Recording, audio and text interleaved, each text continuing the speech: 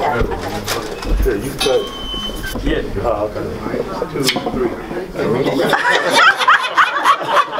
Count, man. You go, man. I got it. I got it. Picture how weight room. Hey, it's yours to look at yours.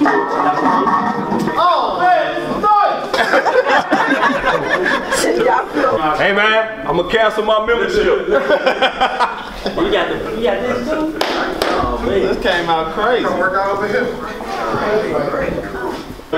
my membership. Who's this guy? Some crook, man. You, you got the ladies you want to look at. What, what was the weight room like when you were there? Oh, Or was there a uh, it was. I mean, it was only a couple of these little benches. It, it was all crazy. It wasn't like no fancy equipment and stuff like this. Um, yeah, they were still using some of the stuff from when I was in high school. Yeah. So I, I, I walked in and was like, oh no, we got to figure this out. So um, I'm very, very happy I had a chance to, you know, work with Exercise Unlimited and, uh, you know, figure out how we can make this a, a better place for the guys and, and the kids to train.